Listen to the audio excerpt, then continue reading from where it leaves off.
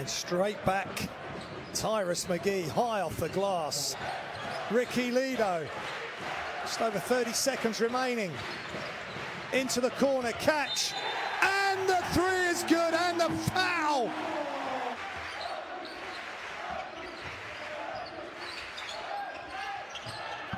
Inside, wrap around move by Karolak. Chasing that rebound down. Tony Wroten all the way. And he's fouled and he scores. Going left this time. Won't go down on the stat sheet as his him forcing a turnover. But it is, and a great pass. Jong in the post. Szewczyk playing him. Tyrus McGee. Shot clock running down. He's going to have to let it go. And let it go, he does. Szewczyk fakes the pass, gives the pass. Ricky Ledo inside. Beautiful pass to Rolands Freimanis. Still Cristal, hesitation. Pulls up. No good, but good job keeping it alive on the offensive rebound. But here comes Pau-Orthez.